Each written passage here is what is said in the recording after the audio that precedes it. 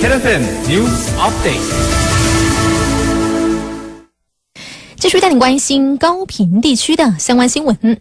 高雄山区豪雨不断，为防范豪雨危及民众生命财产安全，包括桃园等四区土石流红黄色警戒区居民，截至今天中午为止，已撤离超过两千两百人。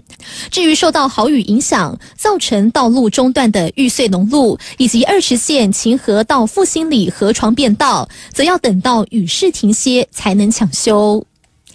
全台第一辆开顶式双层巴士车身彩绘征图相当踊跃，共有三十多件作品参与甄选。负责营运的客运公司预计后天在官网公布甄选结果，得奖作品将彩绘在开顶式双层巴士车身，让乘客感受到不一样的城市气息。